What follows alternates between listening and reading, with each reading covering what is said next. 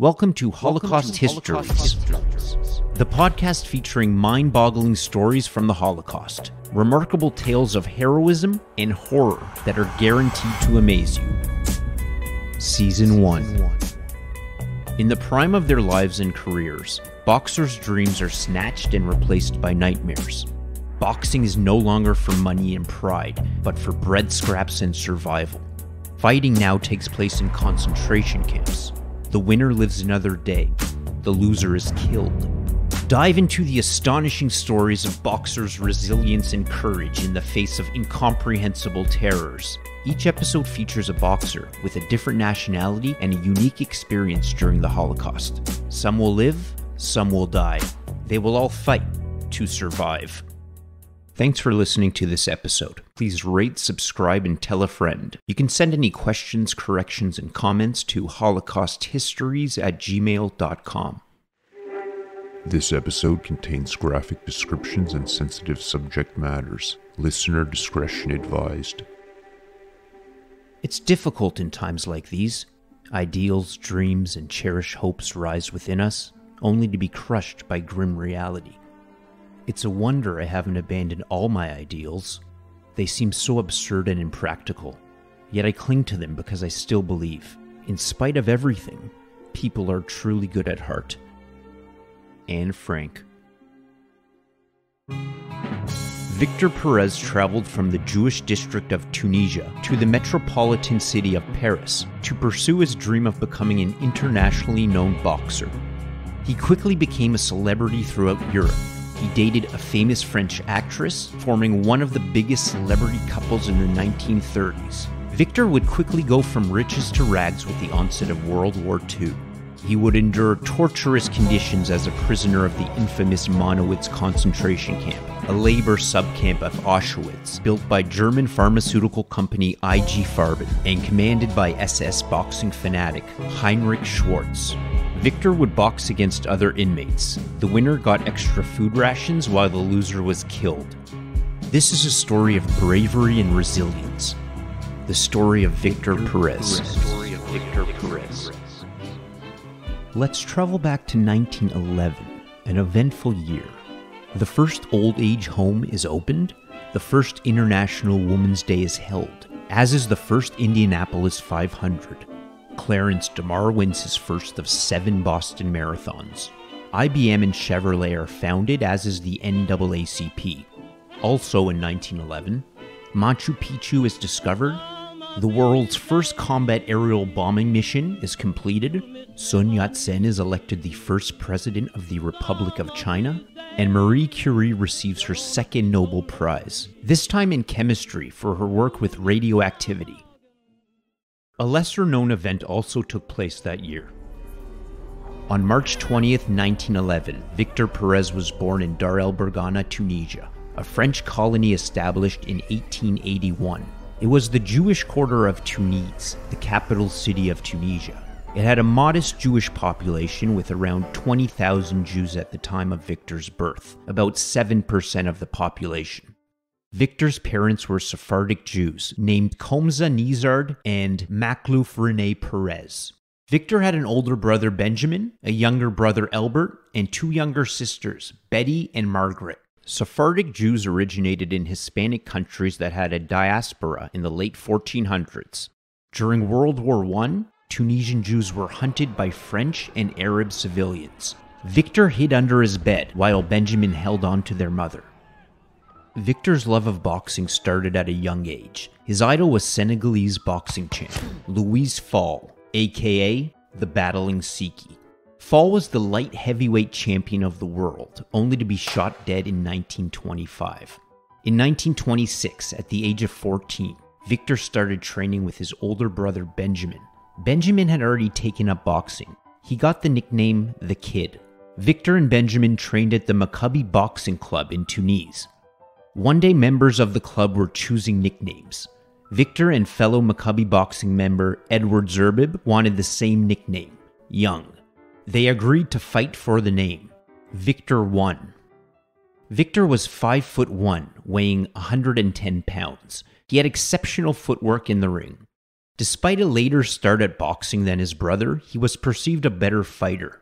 Benjamin left for Paris to work as a sparring partner for decent money. He sent a letter to Victor that said, Here there are plenty of pretty women. You can train with the best managers, meet well known people, athletes, and artists while taking an evening walk in Montparnasse or Montmartre.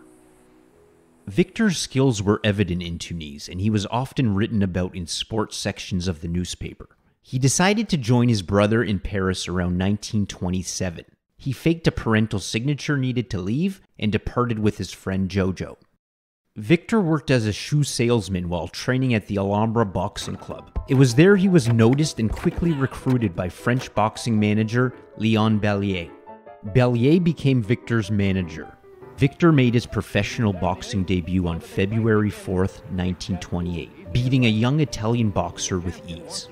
Victor went undefeated in his first 10 matches in Paris, eventually losing in the 10th round to Leo Hermel. His popularity drastically increased. Victor proudly wore the Jewish Star of David on his boxing trunks throughout his career. Outside of the ring, he was quite a fashionista, sporting elegant tailored suits. Victor's first attempt at France's flyweight championship was on February 8, 1930. It resulted in a fourth round loss to Henry Olivia. Just over a year later, on June 4, 1931, in Paris, Victor defeated Valentin Angelmann in 15 rounds to win the French flyweight title. On October 24, 1931, at Paris's famed Palais des Sports, Victor fought prominent American boxer Frankie Genaro in front of 16,000 spectators, including Benjamin. There is in their size. Seems almost puny next to the giant he's about to fight. Sweat beading shoulders and forehead. Crowd waits tensely. Round one coming up. There it is. So the big fight begins. He's never still for an instant bobbing and weaving around. It looks like a test of speed against power. Round two, and the bell sounds again. And down he goes. Victor knocked him out in the second round and was crowned the champion. He was the youngest French citizen to win a world flyweight boxing title. Le Miroir des Sports wrote, Boxing at dizzying speed, the little Tunisian young Perez kills in five minutes the American veteran Frankie Genaro and thus becomes at 20 and a half the indisputable world champion of the flyweights. This was a monumental moment for Victor, who quickly became an idol amongst Tunisians, Jews, French, and ultimately most of Europe. A victory celebration was held in Paris, where he met and started relations with many young women, including British German actress Lilian Harvey. He dated famous French actress Mireille Balin, and the two quickly became one of the most famous couples in 1930s Europe. They cruised the streets of Paris in an American made convertible. Victor returned to Tunis to visit his parents.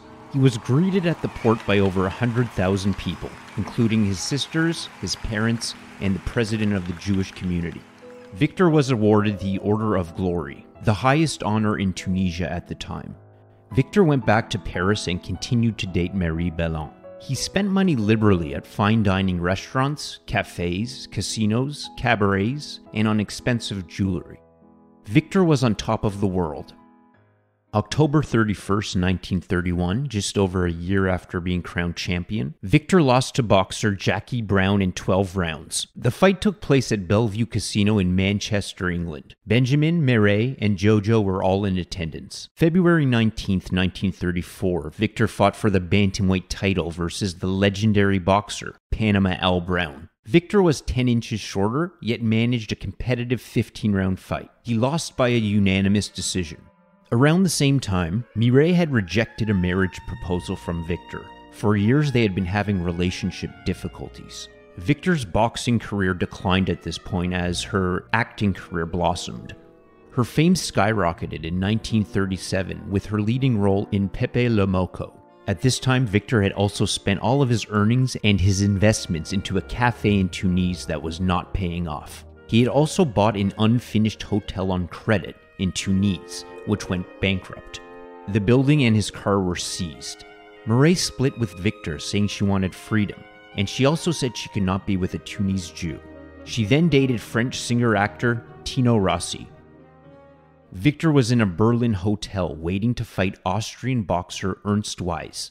It was a sleepless night for Victor, as Kristallnacht had occurred the night before, the pogrom of Jews in Germany by the Nazis. Victor lost the match and was heckled with anti Semitic slurs. The crowd spit and threw objects at him. Victor flew back to Paris immediately after. His last professional bout was on December 7, 1938. He ended with a record of 92 wins with 28 knockouts. He had 26 losses and 15 draws. As Victor's career concluded, Nazism and fascism rapidly grew. Anti Jewish race laws were implemented across Europe. World War II officially started on September 1st, 1939. You will now hear a statement by the Prime Minister.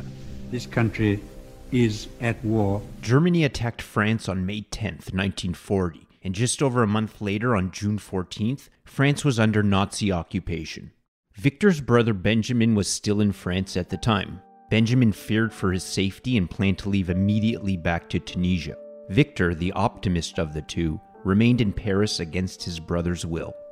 Back in Tunisia, the population was about 1 million, with about 90,000 Jews. The ruler was Ahmed Bey, an eight year old man responsible for passing several anti Jewish laws. Ahmed was the ruler from 1929 until his death in 1942.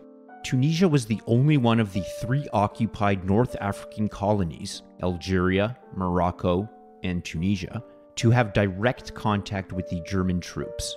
Tunisia was occupied by Germany for approximately six months from November 1942 until May 1943. Much like Tunisia, Algeria and Morocco suffered at the hands of the French Vichy, an authoritarian anti Semitic regime who collaborated with Nazi Germany. Guido Montefiore, a Jew in Tunisia at the time, wrote in his diary I want to say that last night was quite noisy because the bombing began at 9 and did not stop for the entire night. Like everyone, I stayed awake all night. Yigal Halamit, who was 12 during Nazi occupied Tunis, said, I remember that there was almost no food, I would stand every day for hours in a line in order to get bread. Our neighbors were kicked out of their home, my uncle was taken hostage, and overall we lived with twice the fear. On the one hand, the Germans, and on the other, the aerial bombings by the Allied forces that devastated the city. We had to go to sleep in a store with a basement because there were no shelters then. The Germans took all the Jews over the age of 18 to work camps, among them my two older brothers. The Vichy were responsible for anti Jewish legislation that began in France on July 16, 1940. Around 6,000 Jews had their nationality revoked just a month after the Vichy took power. A law passed that required Jews to be registered with the Vichy regime. They were forced to report to the police station. Victor refused and did not report. On October 3, 1940, a law was passed to exclude Jews from the army, the press, and all other commercial, industrial, and civil services. The following day, the Vichy passed another law, which allowed for the immediate internment of foreign Jews. This resulted in 40,000 Jews being sent to different concentration camps. The laws went into effect in Tunisia on November 30th, 1940. One work camp in Tunis was described by a prisoner. 500 people were given only five water bottles, and everyone got one bun for dinner each worth one penny. They spent the entire night outside, under the hood of the sky in pouring rain. Simply horrible. Barbarianism that fits the 15th century, and we are living in the 20th. By mid 1941, half of the Tunisian Jewish population had no income. Jews were forbidden from having radios and changing residence. They were restricted in the hours they could go out in public and prohibited from cafes and restaurants. Victor pretended to be a Spaniard and entered the places he was not allowed. On May 29, 1942, on the advice of Nazi propaganda minister Joseph Goebbels, Adolf Hitler ordered Jews in occupied Paris to wear a yellow Star of David. The star was to be sewn onto clothing. Victor had proudly worn the Jewish symbol on his boxing shorts during his career. He was now forced to wear it as an identification and humiliation tool by the Nazis. Just 20 days later in Tunisia, Ahmed Bey died and was replaced by his cousin, Moncef Bey. This transition of power was a huge turning point for Tunisian Jews. Moncef Bey was known as the protector of the Jews, unlike his cousin Ahmed. Moncef's rule started on June 19, 1942. He wanted the independence of Tunisia and was also sympathetic to the Jews. Moncef signed against three decrees. The first was the requirement of Jews to wear the yellow star. The second was the establishment of work camps and mandatory forced labor. Thirdly, Moncef rejected the legislation that aimed to financially destabilize the Jewish economy by preventing them from working and making money. He awarded the Order of Glory to about 20 Jews during these times as well. In 1942, the Allies organized an attack on Vichy occupied North Africa. It was named Operation Torch. They planned to enter Algeria and Morocco and quickly move to Tunisia. On November 9, 1942, Tunisia was invaded by Nazi Germany with the aid of the Vichy regime. When they arrived in Tunisia, they immediately arrested five leaders of the Jewish community, who were lucky to be released the next day at the request of Moncef. German Colonel Walter Rauff rounded up 3,000 Jews and transported them to a forced labor camp.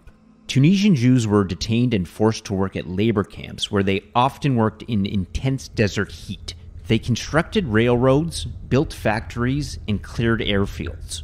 Over 40 labor camps were constructed in Tunisia that imprisoned around 5,000 Jews. 12 year old Tunisian boy Alouche Trebelzi wrote a poem based on the conditions at the time. Barefoot and with torn clothes, we remained fasting for four days, and the tears flow from my eyes because the bombs came raining down. Because of the bombs, I was confused and I did not know what to do. The lice are burden upon me, and my hands are injured from shoveling. They will enter the houses and torture you. They will frighten you in your sleep. They will frighten you with shells and shots. They continue to sound the alarms and spot the planes. There are those dead from direct hits, and there are dead in the trenches, and there are dead in the shelters. To the others, they rob their apartments, and they remain cast off in the streets. They sleep on the land great and small, and their belongings case out in the street. Be gracious, I pray thee, my God. Jews were kidnapped, beaten in the streets, and synagogues were burned down. Homes and stores were confiscated and raided. The Nazis seized whatever goods they wanted and made arbitrary arrests. Jews were fined for being, and I quote, part of the international Jewish conspiracy. On November 8, 1942, the day before being invaded, Moncef received two letters. One from US President Franklin D. Roosevelt, also known as FDR, which requested passage for American and Allied forces through Tunisia. The second letter came from the Vichy regime leader, Philippe Pétain. He wrote that Tunisia must align their attitude with mainland France. Moncef responded to FDR with a letter dated November 13, 1942. The events of the last few days impose on us the duty of sparing our people the sufferings of war. Conscious of our responsibility and anxious to observe an equal attitude towards the belligerents, we believe that we must solemnly formulate the wish of our country to remain outside the conflict. Moncef had told FDR that Tunisia was to remain neutral, not allowing them the passage that was requested. Moncef expected Nazi and Vichy forces to read the letter, so he sent a secret letter to FDR on November 11th. The letter formally aligned Tunisia with the US and the Allied troops. Nevertheless, it appeared as Victor's brother Benjamin had made the right decision to move back to Tunisia, which had improved for the Jewish people since Ahmed was replaced by Moncef. France, on the other hand, was becoming more anti Semitic and fascist. In Tunisia, by November 10, 1942, Germany had reinforced their army with 100 aircrafts. Two days later, on November 12th, they sent 15,000 troops and 176 tanks to Tunisia. A battle was near. On November 22nd, a deal was made that put occupied North Africa on the side of the Allies. The war commenced. The battle raged, and both sides built up their forces for the next few months. More big General Sherman type tanks roll up as the advance continues. Tank warfare erupted. As 1942 concluded, numerous anti Jewish events had occurred in France. The SS Lieutenant Colonel Adolf Eichmann secretly ordered the deportation of French Jews to Auschwitz. The SS were the secret police division of the Nazis. 13,000 Jews, 4,000 of which were children, were sent to Auschwitz. Jews were banned from all main streets, movie theaters, libraries, parks, gardens, restaurants, cafes, and other public places. In 1942, Mireille Balin fell in love with Burl Desbach, a Nazi officer. She reported Victor to the Vichy regime. Victor was detained on September 21, 1943. He was sent to Drancy concentration camp. He was recognized by inmates and guards as a famous boxer. He was given the nickname Champion. On October 7, 1943, Victor was transported by bus to Bobigny train station. Three days later, he was part of Transport 60, a group of a thousand prisoners shipped to Monowitz concentration camp. It took four days to arrive at the camp. There was no food or water on board the trains. Monowitz was located in Monowica, Poland. Victor arrived to Monowitz by cattle cart on the morning of October 10, 1943. It was about 5 degrees Celsius and 40 degrees Fahrenheit. It was misty and lightly rainy. Prisoners were pulled off the carts and told to go either left or right. One direction meant immediate death, the other meant being put to work. Victor was recognized on the way to Monowitz as well as inside of the camp. His celebrity status boosted the morale of some prisoners, giving them a link to their life prior to the war.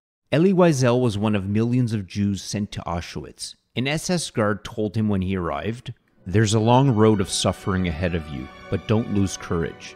You've already escaped the gravest danger selection. So now muster your strength and don't lose heart. Drive out despair, and you will keep death away from yourselves. Hell is not for eternity. Help one another, it is the only way to survive. Auschwitz was a massive concentration camp and death camp that held about 40 subcamps within. Some of the camps were solely execution zones, while others were used for forced labor. Auschwitz began operations in 1940. The main camp was about 150 acres, but including the subcamps, it was about 500. 1.3 million people were sent to Auschwitz. About 85% of them were killed. Jews made up for approximately 960,000 of the dead. The others included Europeans from opposing countries, mentally challenged people, Jehovah's Witnesses, political prisoners, Sinti and Roma, or the Gypsies as the Nazis referred to them, homosexuals, and Soviet prisoners. Around 90% of Auschwitz prisoners were sent to the gas chambers and killed upon arrival. Monowitz was one of the 40 subcamps within Auschwitz. It was the third largest. It was also known as Auschwitz III. Monowitz was a labor camp that was used by IG Farben, a German chemical, military, and pharmaceutical conglomerate. In 1941, IG Farben made a deal with the Nazis. They wanted to use Jews for slave labor to build an industrial complex called Buna Werke. There they would produce synthetic rubbers. IG Farben bought the land from the Nazis at a low price after it had been seized from the Jews and Poles. Elsewhere in Poland, German authorities removed Jews from their homes, which were subsequently sold to IG Farben as housing for company employees. The valuables in the homes were taken by the Nazis.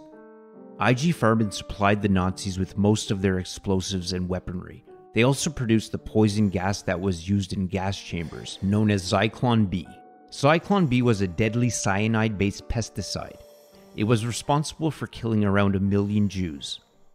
April 1941, prisoners at Monowitz were exhausted and hungry while forced to unload 200 pound bags of cement. Work consisted of leveling the grounds, digging drainage ditches, laying cables, and building roads. Just enough watery soup and bread was given so they could work. July 21st, an outbreak of typhus occurred at Auschwitz. IG Farben decided to turn the barracks camp over to the SS to house the prisoners. The first prisoners arrived on October 26th, and by early November there were approximately 2,000.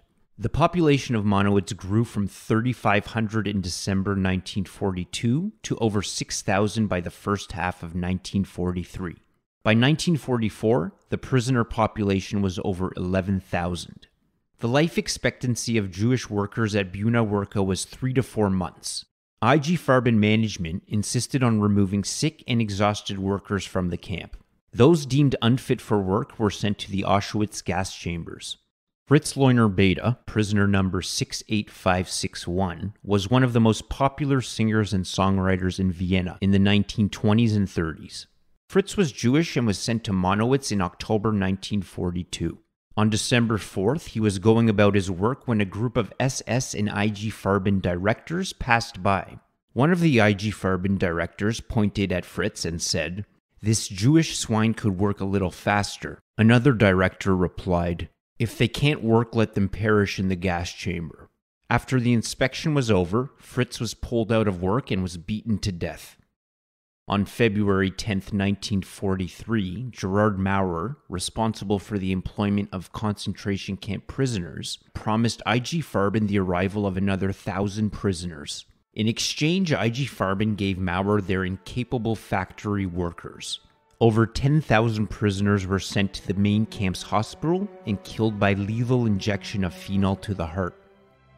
By 1943, IG Farben was manufacturing products worth 3 billion marks, with a net profit around 2 billion modern day euros. They had around 165,000 slave laborers, including 30,000 Auschwitz prisoners. IG Farben's subsidiary company, Bayer Pharmaceuticals, was conducting medical experiments on Jewish prisoners. One experiment was testing an anesthetic. Bayer had 150 women sent from Auschwitz to its own facility. They paid 150 Reichmarks per prisoner. The camp had asked for 200, but Bayer said it was too expensive. All the test subjects died as a result of the experiment. A Bayer employee wrote Rudolf Höss, the Auschwitz commander. In the letter, he stated The transport of 150 women arrived in good condition. However, we were unable to obtain conclusive results because they died during the experiments. We would kindly request that you send us another group of women to the same number and at the same price. In Tunisia by March 1943, the Germans were slowly being defeated, and their forces had dwindled. General Eisenhower, Allied commander in North Africa, visits General Patton's frontline headquarters as the combined Allied force bottle up the Nazis in the northeast corner of Tunisia. The Battle of Tunisia enters its final phase. Allied aircrafts patrolled the skies and naval destroyers the seas. General and leader of Operation Torch, Dwight Eisenhower, told his naval task force sink, burn, capture, destroy. Let nothing pass. On May 7, 1943, British troops entered and captured the capital city of Tunis. At the same time, American troops captured Bizerte. A week later, on May 14th, the remaining Nazi in Vichy in Tunisia completely surrendered. The greatest mass surrender of fully equipped troops in modern history. More than 230,000 German troops surrendered and became prisoners of war. On the same date, Moncef was abducted and forced on board a French Air Force plane. While in the air, he was read a deposition and removed from authority. The order came directly from the Vichy general, Henri Giraud. Moncef was deported to Algeria, where he died a couple years later on September 1, 1948, under house arrest. The casualties during the Tunisian campaign were problematic for Hitler. He had sent a large amount of resources to the losing battle. The German troops recorded 12,200 deaths. Over 16,000 Allied troops were killed. Germany's Air Force, the Luftwaffe, lost 41% of their aircrafts, with over 2,400 destroyed. Germany had also lost a key foothold the Mediterranean shipping passages. Allied control of Mediterranean waters has made it possible to keep food and ammunition rolling right with the troops. The control of these waters by the Allies allowed for an invasion into Sicily, Italy. A victory parade was held in Tunis on May 20th, 1943. General Eisenhower attended. About a month after Victor's arrival at Monowitz, the Nazis assigned Captain Heinrich Schwarz as the commander of the camp. He had 440 SS at his disposal. Schwarz happened to be a boxing fanatic, so when he found out one of his prisoners was a boxing champion, he was thrilled. He organized boxing matches in which inmates fought each other and fought SS guards. It was a form of entertainment for Schwarz and his men, who bet on the matches. The fights were held outdoors in the camp's main square. The fighters were given an extra portion of soup and bread, and they were spared from labor a few hours of the week to train at a boxing gym that Schwarz had built in a barrack. During his first fight, Victor was malnourished and exhausted from labor. His opponent was an SS guard who was twice his size. Schwarz had handpicked Victor's opponent and was ready to watch Victor get pummeled. Some of the prisoners were permitted to watch the fight. Victor's opponent was beating him badly when all of a sudden the prisoners in the crowd started to chant, Young, Young, Young. The encouragement sparked Victor, who quickly turned the fight around. He used what energy and strength he had and displayed his phenomenal footwork and powerful punches. He ended up winning the fight. Schwarz was shocked and outraged. He then decided prisoners would only fight other prisoners and not the SS. Victor fought 140 times, begrudgingly winning each fight as the loser was shot dead. He shared the extra bread he received from the winnings with his fellow prisoners. He made sure those who were on the verge of dying from starvation received a portion. Victor was placed in the camp's kitchen for work. This job was much more desirable than the more laborious construction work. It also provided him the opportunity for extra food. He stole oranges and soups and shared them with inmates. When asked by another prisoner why he did it, knowing if he was caught he would be killed, he replied, A man can't live on his own. He lives to help others. Elie Wiesel described the inhumanity of forced starvation. Hunger is isolating. It may not and cannot be experienced vicariously. He who never felt hunger can never know its real effects, both tangible and intangible. Hunger defies imagination, it even defies memory. Hunger is felt only in the present. One day, a workman took a piece of bread out of his bag and threw it into a wagon. There was a stampede. Dozens of starving men fought each other to the death for a few crumbs. The German workmen took a lively interest in this spectacle. Victor was caught giving food to another inmate and was severely beaten. He was put in solitary confinement for 15 days with a bucket of water and a quarter ration of bread. His cell had no air or light and was filled with rats. When he was released, he was no longer allowed to work in the kitchen. He was now doing grueling outdoor work. In 1944, the Allies bombed Monowitz four separate times. Victor survived each bombing. It was the following year, on January 17, 1945, the Allied troops neared Auschwitz. The Nazis killed the weak prisoners and evacuated the camp. Those healthy enough were sent on a death march, Victor being amongst them. Death marches became commonplace towards the end of the war. The Nazis destroyed evidence of the atrocities committed at the camps, and they transferred prisoners further away from Allied invasion. The prisoners, already near death, attempted to walk incredibly long distances. They lacked clothing and footwear and had no food. They were often beaten along the way, and the weather conditions were abysmal. Victor was part of the largest death march of the Holocaust. Between January 17th and January 21st, 1945, approximately 56,000 prisoners were sent on a death march. Depending on the subcamp location they were to be transferred to, the march was around 36 miles, or 58 kilometers. The temperature at this time was around minus 20 degrees Celsius, or 4 degrees Fahrenheit. Most prisoners were sent to Loslau, while others, like Victor, were sent to Gleiwitz. Those who fell behind on the march were killed. January 21st, on the last day of the death march, Victor managed to scrounge up a piece of bread he found on the road. He was giving other prisoners pieces of the bread when an SS guard approached him and shot him twice in the head. Victor was dead at the age of 33. He was one of approximately 15,000 who died on this march. Just nine days after Monowitz was evacuated, it was liberated by the Soviet army. They shipped any useful equipment and valuable goods left behind at the camp back to Siberia. IG Farben destroyed evidence of their association with the Nazis in Auschwitz. In the spring of 1945, the company destroyed 15 tons of paperwork. The US seized the company on November 30th, 1945, for, and I quote, knowingly and prominently building up and maintaining German war potential. IG Farben was subsequently divided into four zones the American, British, French, and Soviet. The US 3rd Army Division, led by General Lucien Truscott, demolished one of the IG Farben factories with explosives. 200 tons of TNT do the trick.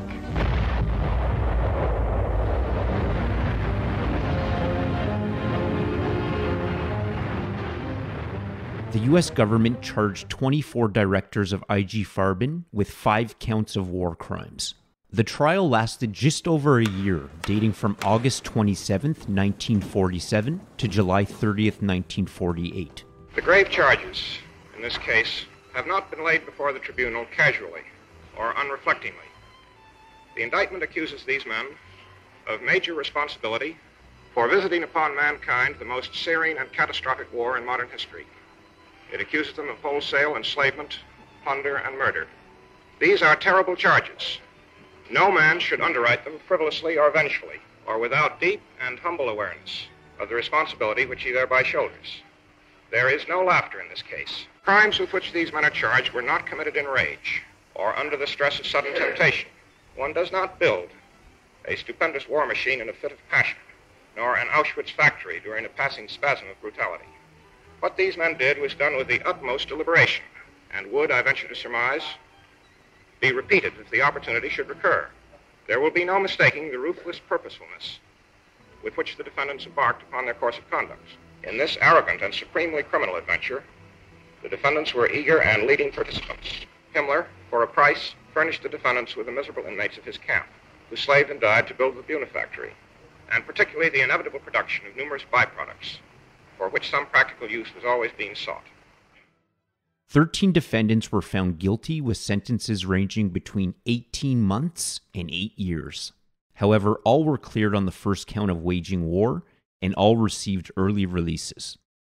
IG Farben started liquidating the company in 1952. They did not complete the liquidation until 2012. They eventually spun off into subsidiaries, including Bayer, AGFA, and BASF. IG Farben directors resumed working at these companies. For 60 years, IG Farben was criticized for not paying the compensation owed to the former concentration camp survivors. Instead, they dragged them through legal battles. Eventually, they were forced to pay the victims around 30 million Deutschmarks. This amounted to 5,000 Deutschmarks for each Jewish survivor. IG Farben declared bankruptcy, and many of the victims were not paid. Germany established a national compensation fund for the former prisoners, but IG Farben did not contribute to the fund. The company's annual meetings in Frankfurt, Germany were met with hundreds of protesters each year. Bayer acquired agrochemical and agricultural biotech company Monsanto in 2016. Bayer brands include Aleve, Alka Seltzer, Aspirin, and Claritin. Bayer, AGFA, and BASF all remain publicly traded companies. Elie Wiesel was evacuated from Auschwitz and sent to Buchenwald, where he would be liberated by the United States 3rd Army Division. He became a noted author and released a trilogy of acclaimed memoirs titled Night, Day, and Dawn. He won the 1986 Nobel Peace Prize and died on July 2, 2016, in Manhattan, New York, at the age of 87. Wiesel said before his death, What is abnormal is that I am normal, that I survived the Holocaust and went on to love beautiful girls, to talk, to write, to have toast and tea, and to live my life. That is what is abnormal. If we forget, the dead will be killed a second time, and then they are today's victims. As the war ended, Victor's brother Benjamin and the rest of his family waited for word from Victor. Time passed and they began to lose hope that Victor was still alive. Then one day in 1947, they had a knock on their door. It was a man who had survived the Holocaust. He had come from Canada to thank them and to tell them that Victor had saved his life in Auschwitz. After talking, the Perez's knew Victor was dead. In 1948, the Jewish population in Tunisia was 105,000. By 2017, that number had dropped to 1,500. In the 1960s, Victor's sister Margaret wanted to know more about her brother. She tried to speak with Balin, but she declined. She said she did not want to awaken the past. Victor was inducted into the International Jewish Sports Hall of Fame in 1986. Filmmaker Jacques Ouaniche made a movie in 2013 titled Victor Young Perez. A memorial for Victor can be found at the Borgel Jewish Cemetery in Tunis. Thanks for listening to this episode. Please rate, subscribe, and tell a friend. You can send any questions, corrections, and comments to holocausthistories at gmail.com. You can visit holocausthistories.com for more information.